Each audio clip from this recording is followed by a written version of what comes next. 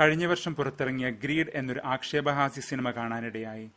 തന്റെ ഷഷ്ടിപൂർത്തി ആഘോഷിക്കാൻ ഗ്രീസിലെ ഒരു ദ്വീപിൽ ആഡംബര പാർട്ടി ആസൂത്രണം ചെയ്യുന്ന സഹസ്രകോടീശ്വരനായ വസ്ത്രവ്യാപാരി സർ മക്രീഡി. അവന്റെ ധനാസക്തി അവന് ഗ്രീഡി മക്രീഡി എന്നൊരു പേര് കൂടി സമ്പാദിച്ചു കൊടുത്തിട്ടുണ്ട്. ശ്രീലങ്ക ബർമ്മ ബംഗ്ലാദേശ് തുടങ്ങിയ ദരിദ്ര രാജ്യങ്ങളിൽ കുടിസ് ഫാക്ടറികളിൽ തുച്ഛവേതനത്തിൽ പന്ത്രണ്ട് മണിക്കൂറിലധികം ശ്വാസം വിടാൻ നേരവും ഇടവുമില്ലാതെ വസ്ത്രങ്ങൾ തയ്ക്കുന്ന പാവങ്ങളുടെ ഞെരിഞ്ഞമർന്ന ജീവിതങ്ങളുടെ മേൽ പണിതുയർത്തിയ സാമ്രാജ്യമാണ് അയാളുടേത്. അയാളുടെ ചൂഷണത്തിന് ഇരയാകുന്ന സിറിയൻ അഭയാർത്ഥികളും ഈ കഥയിൽ പ്രമേയമാകുന്നുണ്ട്. ഒടുക്കം അതിഥികളെ രസിപ്പിക്കാൻ അയാൾ തന്നെ ഒരുക്കിയ സിംഹത്തിന്റെ വായിൽപ്പെട്ട് അയാൾ ദാരുണമായി മരിക്കുന്നു. ഇന്ന് തിരുവചനം മഹാവിരുന്നുകളെക്കുറിച്ച് തന്നെയാണ് പഠിപ്പിക്കുന്നത്. യോഹന്നാൻ വധിക്കപ്പെട്ടെന്നറിഞ്ഞപ്പോൾ ഈശോ ശിഷ്യരെ കൂട്ടി മറുകരയിൽ ബത്സൈദ പ്രദേശത്തെ വിജനതകളിലേക്ക് പോയി.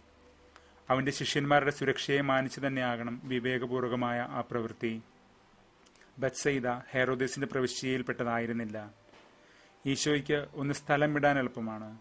പക്ഷേ അവനെ തേടി വരുന്ന ജനത്തെ ഒരിക്കലും തള്ളിക്കളയാനാവില്ലല്ലോ. ഹെറോദേസ് ഭയപ്പെട്ടത് ഇവിടെ ശക്തി പ്രാപിച്ചു വരുന്നു.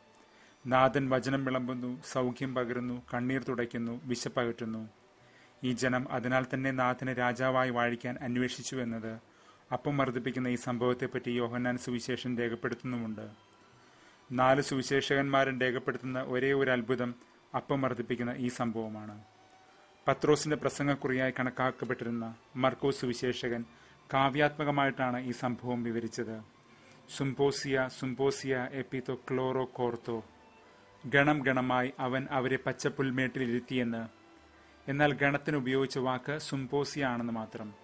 ശില്പശാല സമ്മേളനം എന്നിവയൊക്കെ സൂചിപ്പിക്കാൻ സിംപോസിയം എന്നൊരു പദം നാം ഇന്ന് ഉപയോഗിക്കാറുണ്ട്.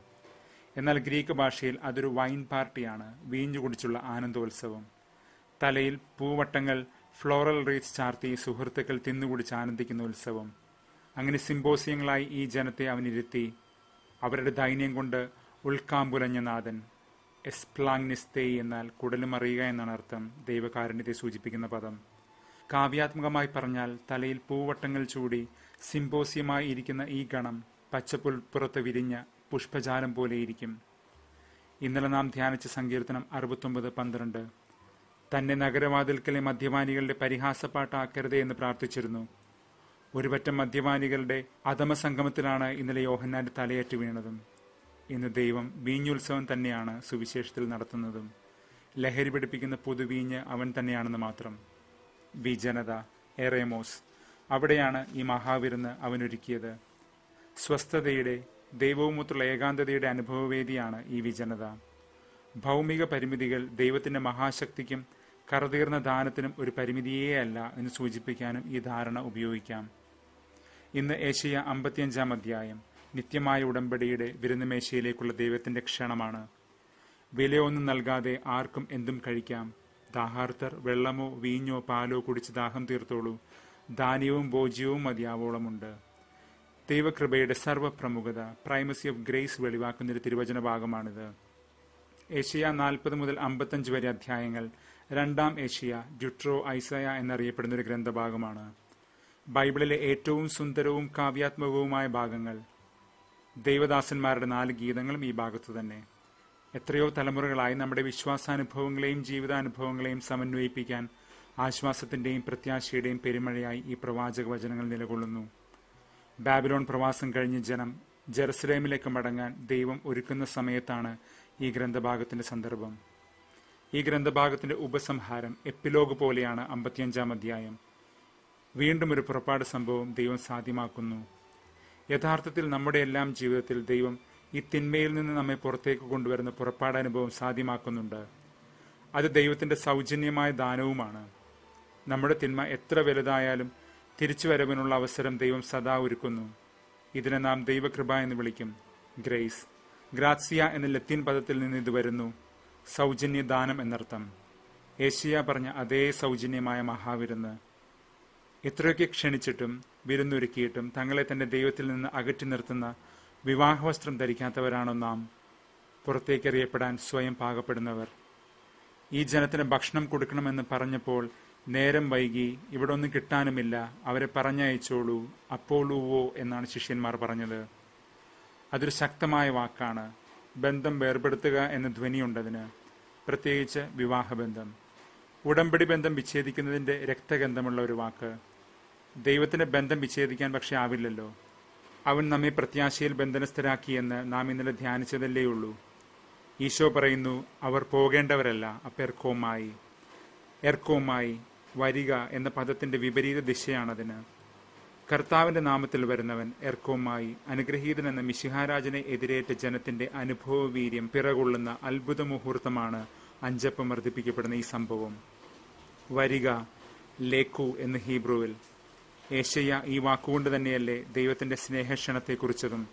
ദാഹാർത്തരെ വരിക എന്റെ വഴിയെ വരിക. ഇന്നലെ സങ്കീർത്തനം അറുപത്തൊമ്പത് പത്തൊമ്പത് പ്രാർത്ഥിച്ചു. നാദ എന്റെ അരികെ വരണമേ എന്നെ സമീപിക്കണമേ. കാറാബ്. ഇന്ന് ഈ ആത്മനിവേദനം ഉണർത്തിക്കൊണ്ട് സങ്കീർത്തനം നൂറ്റി നാൽപ്പത്തിയഞ്ച് പതിനെട്ട് പ്രാർത്ഥിക്കും. തന്നെ ഹൃദയ പരമാർത്ഥതയോടെ വിളിച്ചപേക്ഷിക്കുന്നവർക്ക് കർത്താവ് സമീപസ്ഥനാണ്. കാറോബ് വീണ്ടെടുപ്പിന്റെ പടിവാതിൽക്കൽ നിന്ന് ഏഷ്യ പറയും എനിക്ക് നീതി നടത്തി തരുന്നവൻ എന്റെ അടുത്തുണ്ട് ഏഷ്യ അമ്പത് എട്ട്. അവിടെയും ദൈവസാമീപ്യത്തെ കുറിക്കുന്ന കാറാബ് എന്ന പദം. ഏഷ്യയുടെ ഈ വചനഭാഗത്തെ പുനരാവിഷ്കരിക്കുന്ന വേറൊരു വചനഭാഗമാണ് റോമർ എട്ട് മുപ്പത്തൊന്ന് മുതൽ മുപ്പത്തിനാല് വരെയുള്ള വാക്യങ്ങൾ. ക്രിസ്തുവിൽ ദൈവം നമുക്കായി ചെയ്ത രക്ഷാകര പ്രവൃത്തികളെ ധ്യാനിക്കുന്നുണ്ട് ഈ ഭാഗത്ത്. ക്രിസ്തുവിനെ പോലും നമുക്ക് ഏൽപ്പിച്ചു തന്നവൻ സർവതും ദാനമായി നൽകാതിരിക്കുമോ? കരിസേറ്റായി ദാനമായി നൽകുക. കാരിസ് ദാനം എന്ന വാക്കിൽ നിന്നത് വരുന്നു. കൃപയുടെ ഗ്രീക്ക് വാക്കും അതുതന്നെ കാരിസ്. അതിന്റെ തുടർച്ചയായി വരുന്ന റോമർ എട്ട് മുപ്പത്തഞ്ച് മുപ്പത്തൊമ്പത് വരെയാണ് ഇന്ന് രണ്ടാം വായന. ക്രിസ്തുവിൽ ദൈവത്തിന് നമ്മോടുള്ള സ്നേഹത്തിന്റെ തെളിച്ചമാണതിന്. ദൈവം എല്ലാം ക്രിസ്തുവിൽ നമുക്കായി നൽകി കഴിഞ്ഞു. ഇനി യാതൊന്നിനും ആ സ്നേഹത്തിൽ നിന്ന് നമ്മെ വേർപെടുത്താനാവില്ല എന്ന പൗലോസിന്റെ ശക്തമായ ബോധ്യത്തെയും വിശ്വാസ പ്രഖ്യാപനത്തെയും നമ്മുടെ മുൻപിൽ വരച്ചിടുകയാണിത്. സങ്കീർത്തനം നാൽപ്പത്തിനാല് ഇരുപത്തിരണ്ട് ധ്യാനിച്ചുകൊണ്ട് ശ്രീഹ പറയും ദിവസേന ദൈവത്തെ പ്രതി നാം വധിക്കപ്പെടുന്നു കൊലയ്ക്കുള്ള ആടുകളെ പോലെ കരുതപ്പെടുകയും ചെയ്യുന്നു. ഈ ലോക്ക്ഡൌൺ കാലത്തുപോലും ഇന്ത്യയിൽ ക്രൈസ്തവ പീഡനം നാൽപ്പത് ശതമാനം വർദ്ധിച്ചു എന്ന് കണക്കുകൾ പറയുന്നുണ്ട്. ദേവാലയങ്ങൾക്ക് നേരെ പലയിടങ്ങളിലും ആക്രമണങ്ങളും കൊള്ളിവയ്പ്പുകളും അതിന്റെ മുറയ്ക്ക് വേറെയും നടക്കുന്നു. സ്വാഭാവികമായി നമുക്ക് ഒരു ആത്മവേദ അനുഭവപ്പെടാം. സ്നേഹത്തിന് നിരക്കാത്ത പ്രതികരണങ്ങളിലേക്ക് കടക്കുകയും ചെയ്യാം. എന്നാൽ അത് വേണ്ട. കാരണം കൊല്ലാൻ കൊണ്ടുപോകുന്ന കുഞ്ഞാടിനെ പോലെ ആയിരുന്നു നാദരം ഈ രംഗം വിവരിക്കുന്ന കർത്തൃദാസിന്റെ ഗീതം ഉൾക്കൊള്ളുന്ന രണ്ടാം ഏഷ്യയുടെ പുസ്തകത്തിന്റെ രത്നചുരുക്കമാണ് നാം ധ്യാനിക്കുന്നത് എന്ന് വെറും യാദൃശ്ചികമല്ല. ഇതിനെല്ലാം മറുവിലയായി ദൈവം നൽകുന്ന പരിപൂർണ വിജയത്തെ സൂചിപ്പിക്കാൻ ശ്ലീഹ ഉപയോഗിച്ചത് ഹുപ്പർനിക്കാവോ എന്ന പദമാണ്. വിശ്വവിജയികളെയും വെല്ലുന്ന വിജയമെന്ന്. ഇന്ന് സങ്കീർത്തനം നൂറ്റി നാൽപ്പത്തിയഞ്ച് ദൈവം കൃപാലു കരുണാമയൻ കോപിക്കുന്നതിൽ വിമുഖൻ സ്നേഹത്തിൽ സമ്പന്നൻ എന്നീ നാല് പുകളുകൾ ഇവിടെ വിവരിക്കുന്നുണ്ട്. ദൈവസ്തുതികൾ ടെഹിലിം എന്ന തലക്കെട്ടുള്ള ഒരേ ഒരു സങ്കീർത്തനമാണിത്. ദൈവത്തിന്റെ മഹത്വം ഗ്രേറ്റ്നെസ് ദൈവത്തിന്റെ കൃപ ഗ്രേസ് എന്നിവ ചേർത്ത് വെച്ചുകൊണ്ട് ധ്യാനിക്കുകയാണ് ഈ സങ്കീർത്തനം. ഒരുതരം ആജ്ഞാശക്തിയുള്ള ഗീതമാണിത്. ഇമ്പരറ്റീവൽ ഹെം മഹത്വവും കാരുണ്യവും വിവരിക്കുമ്പോൾ തന്നെ സ്തുതി ഉയരട്ടെ എന്ന് ഉദ്ഘോഷിക്കുന്നത് കൊണ്ടാണത്. ദൈവത്തിന്റെ മഹത്വം ഏറ്റവും എളിയ സൃഷ്ടികളോട് പോലുമുള്ള അവന്റെ സ്നേഹാധിക്യത്തിലാണെന്ന് ഈ സങ്കീർത്തനം വിവരിക്കുന്നു.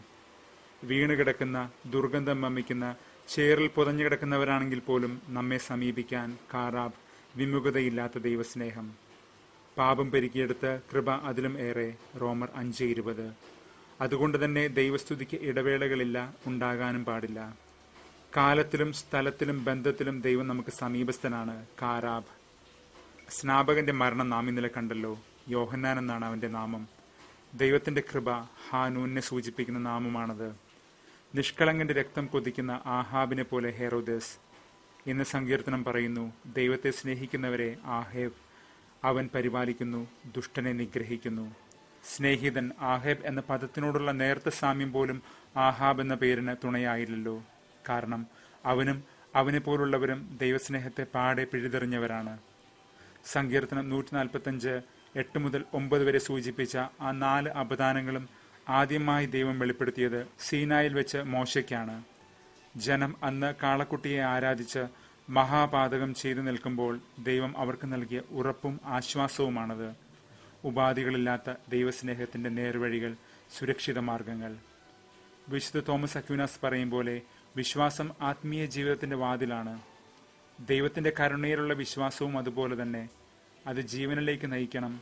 അല്ലാതെ ക്ഷമിക്കുമെന്നോർത്ത് പാപവഴികളിൽ കാലുറപ്പിക്കാൻ പ്രേരിപ്പിക്കുന്നതാകരുത്. പ്രഭാഷകൻ അഞ്ച് മൂന്ന് മുതൽ അഞ്ച് വരെ.